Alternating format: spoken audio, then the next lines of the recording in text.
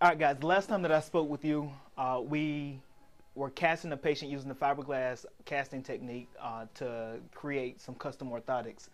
So when we finished, this was our finished product. This is what the, the, the fiberglass cast looked like once we took it off the off the patient's feet and they dried.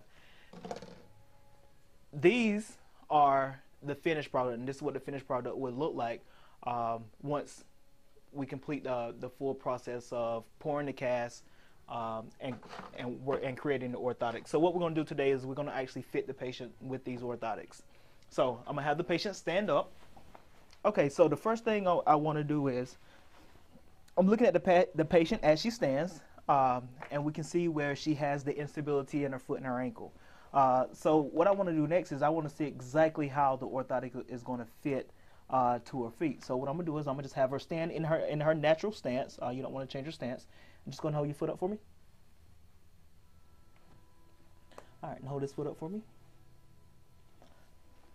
All right. So basically, what we're looking for here is we're looking to make sure that her subtalar joint is in neutral and that she has full arch contact here.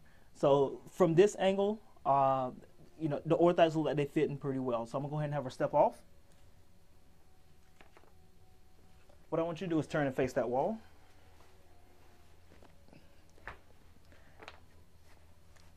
And again, I want to look at the patient from the back.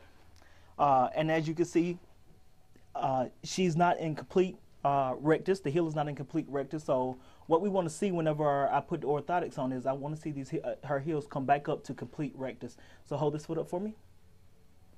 Slide it back just a little bit. There you go. Just hold this one up. Up, slide forward just a little bit. Now come back just a little bit. There you go. All right. So as you can see, the heels went from uh, not being in rectus to complete rectus. And what we're looking for here is you can see that the Achilles is straight up and down and everything is straight over the and everything is straight over the uh, centered over the ankle. So we got it in complete rectus and she should do very well with these orthotics. All right, go, you can go and have a seat for me. So the next thing we want to do is we need to now fit the orthotics to her shoes.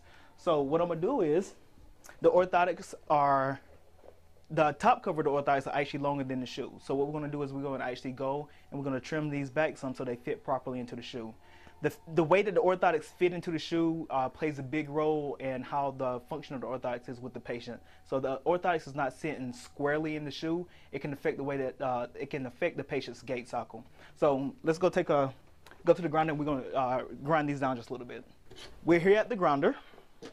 Uh, and what I'm going to do is, you know, first I'm going to put the orthotics in the shoe just to see exactly how much I need to take off. And the way I do that is I feel on the inside. If the patient has a shoe that has a removable insole, it's a great tool to use to actually measure the orthotic and get it to its exact length of the shoe.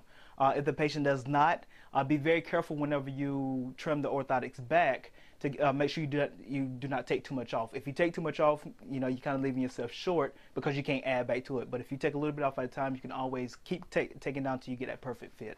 So let's see if we can get a perfect fit here.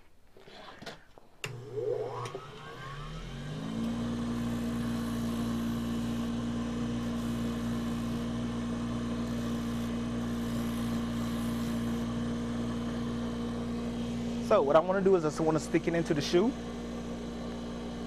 run my hand on the shoe, make sure I haven't taken off too much. And I just need to take off a little bit more on the side.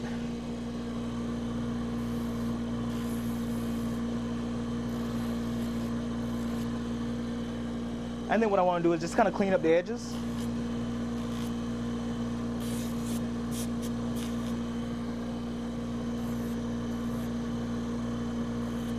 All right, so now let's see how it fits into the shoe. All right, and now we have a perfect fit. All right. So what I'm gonna do is I'm gonna do the second one real quick, and then we'll come back uh, and we'll we'll fit the shoe and the orthotics on the patient. Okay, so now that we have um, trim the orthotics to size uh, to fit into the shoe. What you want to do now is you want to make sure that the shoe and the orthotic together fits well on the patient's foot. So what I'm going to do is I'm going to have the patient stand up. We're going to put her into her shoes, uh, and we're going to see how, how, how it fits on her. So go ahead and stand up for me.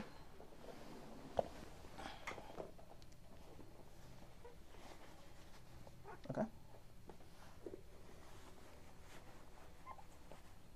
Okay. So with with the way her orthotics fit in the shoe, it fits it fits well. It's not too tight. I still have enough room uh, to pull material, so she has plenty of room in the shoe with the orthotic.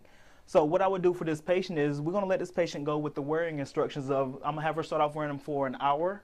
Uh, the first day that she wore them, which is today, and then I'm gonna have her increase by uh, an hour each day till she get to a full eight hours.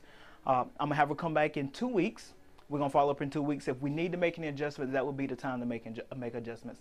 I never make adjustments on the first uh, visit on the day of dispense because you got to give the patient time to get used to the orthotic, and you got to give her time to get used to the new gait cycle. So what we're gonna do is we're gonna have her go through the break-in process. I have her come back in two weeks, and we'll make adjustments then. So you will see another video from me here soon on the follow-up to this video to see how she's doing with the orthotics. Until then, I'll see you next time.